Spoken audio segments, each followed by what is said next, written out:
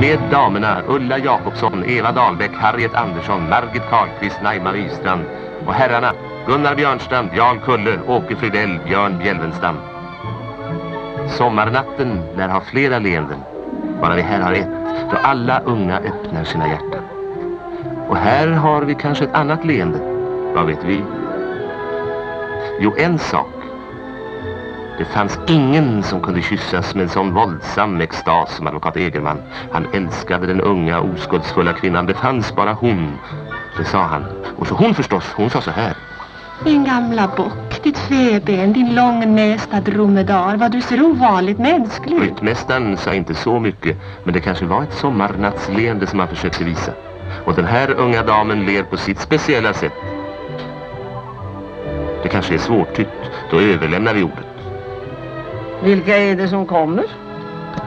Är det skådespelare för de äta i köket? Är det en komedi vi ska se? Jag vet.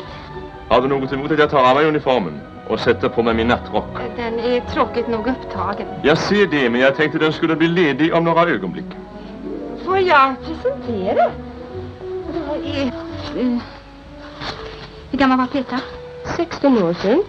Vad otäckt. Jesus. Det var så skönt och knepigt som man nästan dog.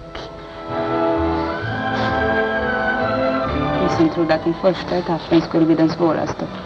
Kanske den svåraste men inte den delikataste för den kommer nu. Ja, då kan vi anse oss som förlovade då. Hur kan en kvinna någonsin älska en man? Kan du säga mig det?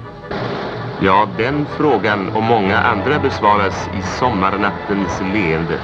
Ni är välkommen med eller utan bil.